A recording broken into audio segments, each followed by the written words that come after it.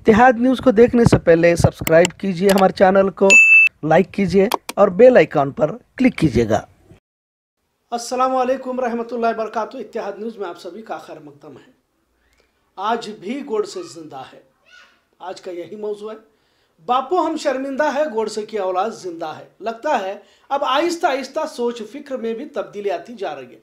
ऐसा डर भी लग रहा है कि क्या अब गोडसे को ही महात्मा बनाने का मुकम्मल आज़म कुछ गोडसेवादी लोगों ने बना लिया है। आज ही के दिन महात्मा गांधी को मनुवादी विचारधारा से मुतासिर संगीत सोच फ़िक्र के नथुराम गोडसे ने राष्ट्रपिता पर गोली चलाई। आज़ाद भारत का पहला आतंकवादी भी इसे ही कहा जाता है।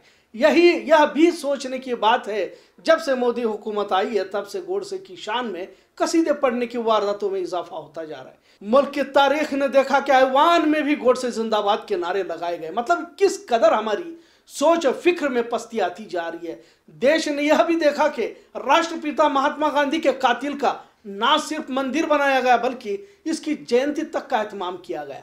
देश ने यह भी देखा, भारत का संविधान जो सबसे ऊपर है, इससे बढ़कर ना तो कोई शख्स है, ना कोई मज़हब, न इससे बढ़कर कोई दूसरा दस्तूर। लेकिन यह भी देखा गया कि खुलेआम संविधान को जलाया गया। महात्मा गांधी और बाबा साहेब अंबेडकर का अपमान करने वालों ने तो खुलेआम मुखालिफत शुरू की है। भाजपा के सुखदेव सिंह गोगामेडी ने तो खुले खुले इजलास में कहा कि दलितों के हाथ पैर तोड़ देने चाहिए, पर हर कोई खामोश, तमाशाई बनता नज़र आ रहा है। मुल्क की दिशा दशा क्या होगी, किसी को मालूम नहीं। ज़ोर ज़बरदस्ती और मनमानी कारोबार का तमाशा हर रोज देखा जा रहा है। यह कैसा दौर आया है कि सच बात करने वालों की आवाज़ को दबाने की कोशिश की जाती है।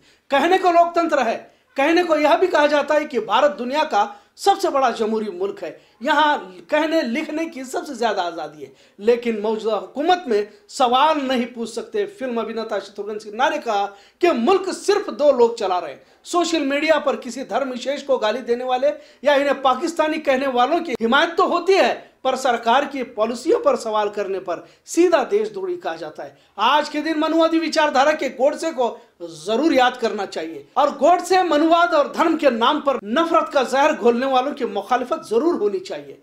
हम अपने लिए ना सही, पर आने वाली नस्ल के लिए संविधान, दस्तूर और लोकतंत्र को बचाने की पुरजोर कोशिश करनी चाहिए। मुल्क भर में जब एनआरसी और सीए को लेकर मुल्क भर में एहतजाज किए जा रहे हैं तो इन पर गोली चलाने वाले गोड से विचारधारा के लोग आज भी ज़िंदा है। आज जामिया के इहाते में एक नौजवान पिस्तौल के साथ सड़क पर उतरता है और एहतजाज करने वालों पर चलाता है, जिसमें मासूम और बेगुना शादाब फारूक के हाथ में गोली लगती है। जख्मी शादाब अस्पताल में जेर इलाज है जेएनयू की शहला राशिद कहती है। यही वो गोडसे की विचारधारा है, जिसकी बुनियाद पर हाथ में हथियार लिए सर फिरे सड़क पर उतर आते हैं। शहला राशिद ने ट्वीट के ज़रिए कहा कि जामिया में हमला हाथ में पिस्टल लिए एक शख्स के ज़रिए गोली चलाना नहीं है।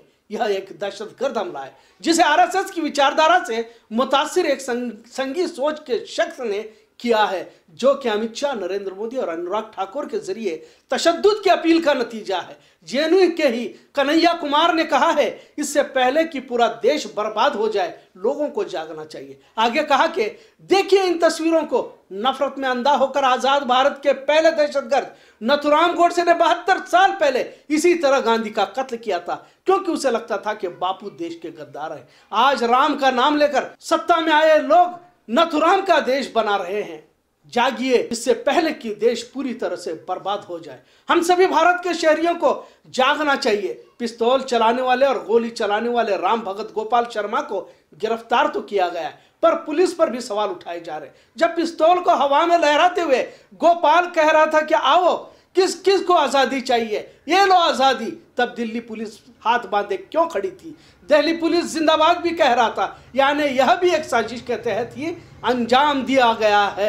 यह महसूस किया जा रहा है, सर साहब ही विनोद कापड़ी ने कहा है। एक रिपोर्ट के मुताबिक भाजपा के पास अब कोई मुद्दा नहीं रहा। तो शाहीन बाग पर ही दिल्ली के इंतबात जीतने का इरादा इन्होंने कर लिया है। तभी तो शाहीन बाग के लोगों को अमित शाह करंट देकर मारना चाहते हैं। परवेश शर्मा दिल्ली की मस्जिदों को गिराना चाहते हैं। संबित पात्रा शाहीन बाग के लोगों को जहादी कहते हैं। एनआरसी और सीएए का विरोध करने वालों को पाकिस्तानी कहा जाता है। एहतजाज करने वालों को जूते मारने की बात कही जाती है। यानी कुल मिलाकर पानी, बिजली, सड़क, शिक्षा, रोटी, कपड़ा, मकान पर वोट मांगने वाले केजरीवाल को आतंकवादी और पाकिस्तान हिंदू मुस्लिम गाय गोबर पर वोट मांगने वालों को सच्चा देशभक्त बता दिया जाता है। जीत हासिल करने का मंसूबा भाजपा की जानब से किया जा रहा है। भारत देश की आवाम को अब फैसला करना है कि संविधान भाईचारों को किस तरह बचाना है। बाबरी मस्जिद की शहादत के वक्त इसी तरह धर्म के नाम पर वर्गलाकर नफरत के शोलों में सियासी रोटी ऐसी की गई थी। एक बार फिर राम भगत गोपाल जैसे नौजवानों को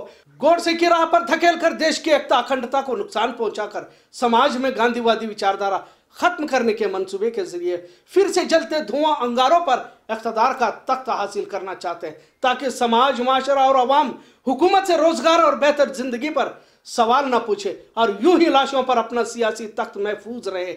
आज जो राम भगत गोपाल ने गोली चलाई है, यह विचारधारा से मुतासर है, जिसके नतज बहुत खतरनाक होने वाले हैं, जिसका शायद एहसास मुल्क के शहरियों को बहुत कम है क्योंकि दहशत गर्दी फिर गोड से की हो या राम भगत की हो, जिसकी कीमत बहुत बड़ी इस देश को चुकानी पड़ेगी। इतिहाद न्यूज़ देखने के लिए शुक्रिया। अल्लाह हाफिज़।